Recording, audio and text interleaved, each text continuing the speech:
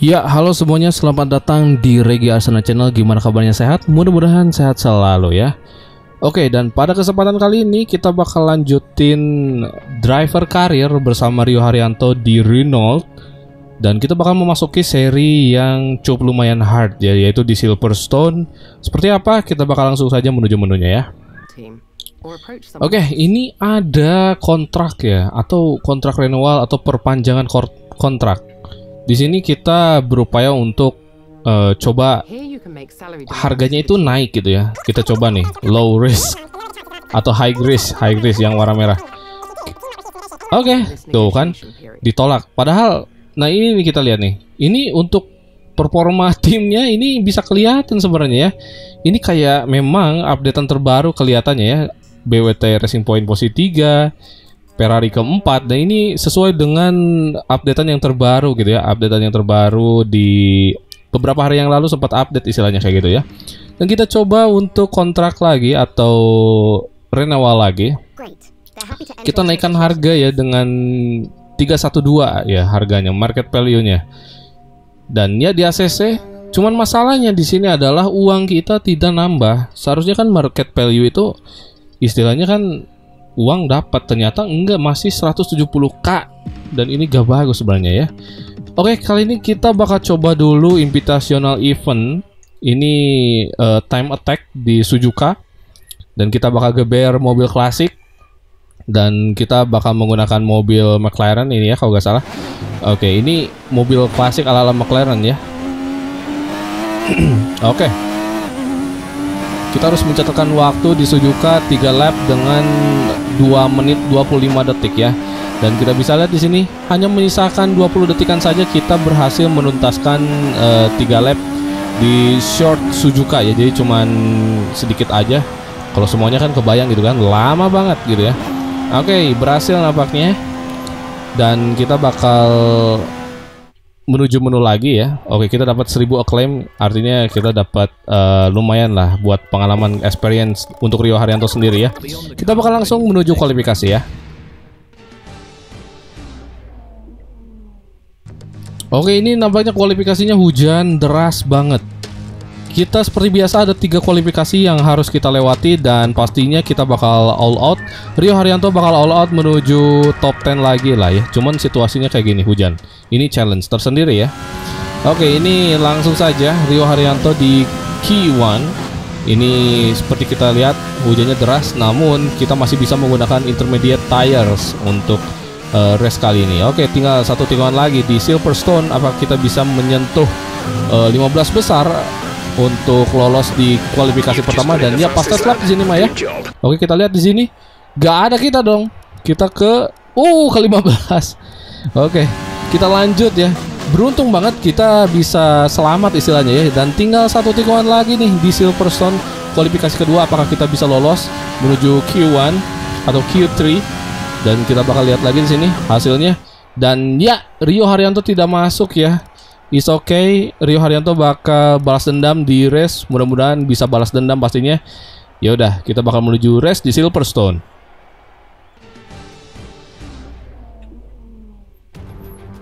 Alright, ini dia. Wow, cerah nampaknya. Nah, ini syukur ya. Oke, okay, ini kita ada di Silverstone dengan cuaca yang cerah. Uh, masalah di Silverstone ini adalah tracknya memang panjang, terus juga ada beberapa titik di mana tikungannya tricky banget ya itu tikungan berapa ya? nanti kita lihat di sini ya. Nah ini nih ini start finish dan sektor satu nah itu sektor 2 agak sedikit tricky juga di tikungan atau detection zone uh, eh, DRS lagi dan kita bisa lihat di sini. Nah, 11, 12, 13, 14 adalah tikungan yang benar-benar harus diwaspadai oleh Rio Haryanto di seri kali ini. Dan kita langsung saja menuju starting grid untuk uh, seri kali ini. Ini ada Lewis Hamilton sang tuan rumah berada di posisi pertama disusul oleh Valtteri Bottas di posisi kedua, Max Verstappen posisi ketiga, Alexander Albon posisi keempat. Nah, ini di updatean terbaru. Memang kalau kita lihat tadi ya di kontrak renewal itu Mercedes posisi pertama, Aston Martin kedua, terus ketiga ada Racing Point, keempat ada Ferrari, kelima ada uh, Renault gitu ya. Wah, ini interesting banget untuk race kali ini. Apakah sesuai nanti di race-nya? Kita bakal langsung saja lah. Oke. Okay, Loh. Tim home race katanya ya. Padahal Renault ini dari Prancis dan oke kita bakal langsung saja Rio Haryanto five flags. Ya, it's like so then away we go. Langsung saja kita gebar-gebar kali ini Rio Haryanto driver karir Renault. Langsung saja memasuki tikungan pertama kali ini. Agak sedikit struggling Rio Haryanto yang berada di posisi belasan dan sekarang mulai naik lagi. Dibuntuti oleh Racing Point ya. Ini padahal Racing Point memang timnya bagus cuman entah kenapa ini dengan eh, drivernya. Memang eh, masih gitu-gitu aja gitu ya. Mungkin untuk rating drivernya sendiri tidak terlalu upgrade ya untuk ini beres di sini. Oke by the way kita ada di posisi 11 masih belum aman karena di depan ya untuk zona point. Ada Romain Grosjean cuman di sini kesempatan kita terbuka lebar lebar karena eh, ini baru lap pertama dan kita bakal terus nge-push Rio Haryanto menuju minimal top 5 maksimal podium ya. Cuman kalau podium agak susah ya karena situasinya kayak gini. Ini kita di posisinya kurang bagus di pertengahan menuju akhir tadi. Dan kita bisa lihat di sini. Oh, ah, apa yang terjadi kali ini? Oh, nampaknya ada sedikit sentuhan dari Racing Point yang mengakibatkan eh, sayapnya harus lepas. Tadi sempat kagetnya itu Rio Haryanto memang sedikit eh, keluar lintasan sedikit banget gitu ya, sedikit a little bit wide gitu istilahnya. Dan kita bisa lihat di sini Rio Haryanto berhasil mengovertaking Romain Grosjean menuju posisi 10 kali ini cukup baik. Dan Rio Haryanto sekarang masuk zona podium ya. What a lap in uh, lap pertama. Oke. Langsung ke bel lagi kali ini. Kita bisa lihat Rio Haryanto You're in the top 10 now. di lap kedua berhasil menduduki posisi 10 ya. Dan ya cukup baik. Dan kita bisa lihat di sini di mana Stroll nampaknya kontak dengan Rio Haryanto dengan cukup huge banget ya. Langsung kehilangan sayap depan dan itu auto pit stop harusnya gitu kan. Dan kita bisa lihat oh my god me. Itu kamera dari Sergio Perez. Benar-benar luar biasa ya kontaknya ya. Oke kali ini di lap 4 kita berupaya untuk menempel Lando Norris saja ya. Lando Norris eh, tuan rumah di sini karena dia beras- berasal dari Inggris juga Britania Raya. Dan kita bisa lihat di sini apakah kita bisa untuk overtaking Lando Norris. Dan iya ini dia. Kita memasuki tikungan berikutnya semakin dekat. Lando Norris ini pakai ban medium di saat ini. Dan kita bisa lihat di sini mudah saja sebenarnya untuk masuk. Namun dari luar dan oh manuvernya luar biasa sekali dari Rio Haryanto. Mudah saja untuk overtaking Eh, Lando Norris. Manuver yang luar biasa dari Rio Haryanto cukup baik dan cukup baik kali ini berada di posisi 8 wah gokil banget ya. Rio Haryanto sekarang berada di posisi ke-8 oke kali ini nah ini 11 12 13 14 kan 13 nah ini 14 dan nah ini sejauh ini masih cukup baik ya Rio Haryanto di track ini dan perlahan namun pasti Rio Haryanto bisa lah ya untuk terus ngepush lagi yang ada di depan seperti Daniel Torpedo Piat dan ya masih lap 4 dan sekarang lap 6 di mana nanti kita bakal masuk pit stopnya di lap 7an gitu ya. Dan oke kali ini kita masih menempel Daniel Torpedo. Oke kali ini memasuki tikungan 13 dan langsung siap-siap pakai DRS langsung pakai ini dia kita berupaya untuk terus tempel Daniel Fiat yang berada di posisi ke-6 cukup baik eh, driver dari Alfa Tauri. Dan langsung gue lagi kali ini Oke masuk pit stop nampaknya Daniel Torpedo Oke kali ini kita mau menuju tikungan eh, dua terakhir atau tiga terakhir dan oke tinggal satu tikungan lagi Leclerc sekarang oh naik ya. Ada beberapa driver yang masuk pit stop ya. Oke, kita masuk pit stopnya sekarang lap 7. Oke, ini dia. Lap sekarang kita bakal masuk pit stop lap 7. Oh, sedikit ada warning extended track limits kita eh, harus wide. Dan oke. Kali ini kita bakal pakai medium lagi. Enggak, bukan lagi sih. Soalnya di Austria kebalikannya. Mengganti ke ban soft, sementara di race sekarang mengganti ke ban medium. Oke, apakah akan mengulang kesuksesan di seri Austria di seri kali ini? Kita lihat saja. Oke, ini dia Rio Haryanto ganti ke ban medium ya. Oke, cukup baik kali ini Rio Haryanto berada di posisi belasan ya tadi. Oke, ada beberapa driver yang berhasil mengambil alih posisi Rio Haryanto dan kita berupaya langsung gebel lagi. Oke nampaknya di belakang Lando Norris pasti dekat banget dan iya betul saja. Dan kali ini kita bisa lihat tipis banget ya.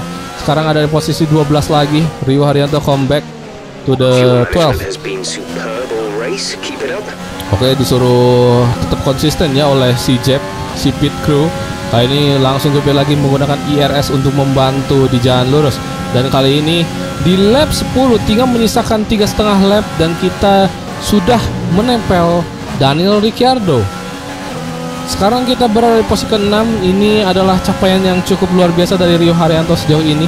Dan kita bisa lihat di sini kita berupaya untuk tempel Daniel Ricciardo CS kita menggunakan ban hard sementara kita pakai ban medium. Harusnya medium menang mudah kali ini dan kita bisa lihat betul saja nampaknya harus ada side by side dengan Daniel Ricciardo kali ini. Oh, Daniel Ricciardo melebar dan kita masuk. Dari luar. Wow, lagi-lagi Renault justru bertarung di sini ya. Renault dan McLaren. McLaren juga chassisnya Renault ya.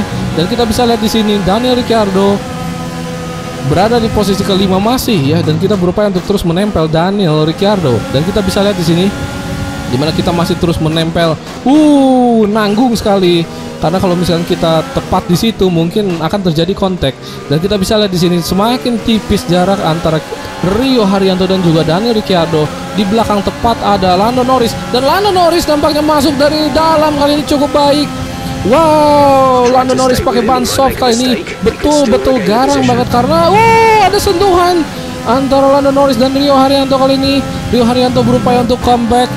Wah, ini battle di beberapa lap terakhir dan kita bisa lihat kita harus sedikit tercecer lagi ke posisi 7 dan di lap sebelumnya kita bisa lihat bagaimana kita berupaya overtake Ricciardo dan justru di lap sekarang harus di overtake oleh Lando Norris. Dan Lando Norris pastinya eh, mengincar posisi dari Daniel Ricciardo saat ini. Karena dia memang menang dari segi ban ya. Ban soft itu dia bisa lebih cepat karena eh, komponnya lebih tipis dari ban medium dan juga hard eh, dan gripnya jauh lebih enak ya kalau soft. Dan kali ini di lap 12 Lando Norris berupaya untuk overtaking Daniel Ricciardo. Dan kita bisa lihat di sini di mana kita Rio Haryanto berupaya untuk terus menempel Lando Norris dan Lando Norris berhasil overtaking dan melambat Daniel Ricciardo. Oh, Rio Haryanto.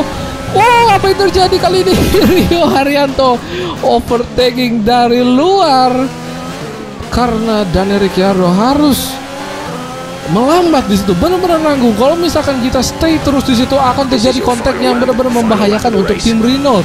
Terpaksa Daniel Ricciardo harus di overtake dari outside. Dan kali ini kita di lap akhir di mana Lando Norris kali ini masih berada di posisi kelima. Disusul oleh Rio Haryanto di posisi keenam. Final lap kali ini 6 dari 19 oke apa yang terjadi kali ini? 11 12 13 Oke kali ini tinggal menuju tikungan 14 dan dia menempel lagi dengan menggunakan DRS. Lando Norris tidak memakai DRS dan kita bisa lihat di sini Rio Haryanto cepat sekali. Reach dia. Dan apa yang terjadi kali ini? Berhasil di overtake nampaknya Lando Norris di tikungan-tikungan akhir. Menuju lap-lap akhir. Tikungan-tikungan akhir. Rio Haryanto mengunci posisi 5 untuk sementara kali ini. Tinggal dua tikungan lagi. Satu tikungan lagi dan Lando Norris. Lando Norris berhasil. Side by side kali ini. Dan ya nampaknya Rio Haryanto going to the top 5 Okay, pick up rubber and bring it home. Wow crazy sekali itu unbelievable ban medium kita berhasil eh, unggul atas ban softnya McLaren ya Yes, another historic win under their belts. Well done. wah ini dia Toto. Wolff wah gokil Anthony, Ini dia Lewis? Hamilton tuan rumah. Oke, kita memang nggak memikirkan untuk podium karena realita aja ya. Sesuai dengan realita di posisi 12 kita eh, memang mengincar posisi terbaik ya apa adanya gitu ya. Push to the front dan ini dia Hambot pair kita sering biasa lihat di layar kaca atau di kehidupan nyata F1 podiumnya pasti seperti ini ya. Jadi sekarang nggak jauh beda gitu ya. Oke, congrats dan Rio Haryanto juga awesome race di seri kali ini. Wah, unbelievable race, unpredictable. Drama ya di lap-lap akhir ada drama ya. Oke, ini dia hasil akhir untuk seri kali ini. Lewis Hamilton, Bottas, Verstappen 1 2 3, Rio Haryanto kelima dan Ricciardo ke-7. Sayang banget. So pastinya kita bakal evaluasi lagi untuk race-race berikutnya. So thank you very much yang sudah nonton video ini. Jangan lupa buat like, komen dan subscribe. Yuk subscribe supaya channel ini makin berkembang dan kita bakal ketemu lagi besok di jam yang sama 18.30. So terima kasih banyak buat yang sudah nonton. Kita ketemu lagi besok. Sehat selalu untuk kalian semuanya. Semangat untuk kalian semuanya. Bye bye coy.